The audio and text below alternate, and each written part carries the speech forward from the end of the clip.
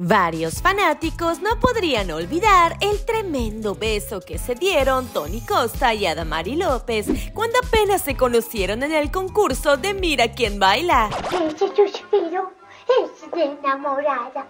Fue en ese momento donde este par sintieron cosquillitas en el estómago y decidieron probar si eran el uno para el otro, por lo que dieron paso a una relación que duró 10 años y donde tuvieron una hija de por medio. Sin embargo, existen momentos que fueron revelados tiempo después de aquel besote y resulta que al principio todo habría sido planeado por el coreógrafo de Tony Costa, ya que los espectadores de dicho programa querían ver más show. Eso no está ni ensayado. Tú le. Tú nada, le, le besas al final. Dijo Tony Costa en una entrevista para el programa Aquí y Ahora, donde relató el momento que pasó antes de que bailara ese sensual tango con quien se convertiría en la madre de su primer hija. El mentor de la danza también compartió que por más que quiso que ese beso fuera sorpresa, no pudo contener los nervios y decidió contarle a Adamari López lo que el coreógrafo Poti Castillo había planeado. Que me acaban de, de ordenar que te bese al final del tango, en la posición que tenemos tú y yo al final.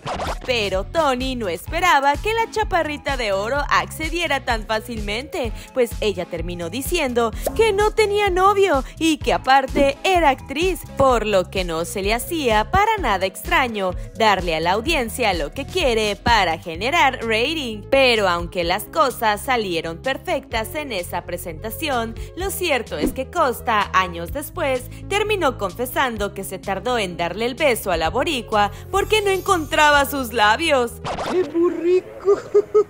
Lo que no esperaba este par es que a la quinta semana después de haber dado tremendo espectáculo en televisión, la llama del amor se encendería y los dos decidieron formalizar una relación.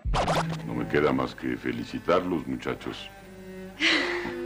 Vaya que todo lo que pasó detrás de escena fue un escándalo, pues al pobre de Tony le temblaban las piernas porque no se atrevía a robarle un beso a Adamari López. Sin embargo, las cosas salieron mejor de lo que planeaba. ¿Y tú, ya sabías lo que había detrás de ese tango que bailaron Adamari López y Tony Costa? Te leemos en los comentarios y si te gustó nuestro video, no olvides dejarnos tu like y seguirnos para más información del mundo del espectáculo. Todo el entretenimiento en un solo lugar, ella y online.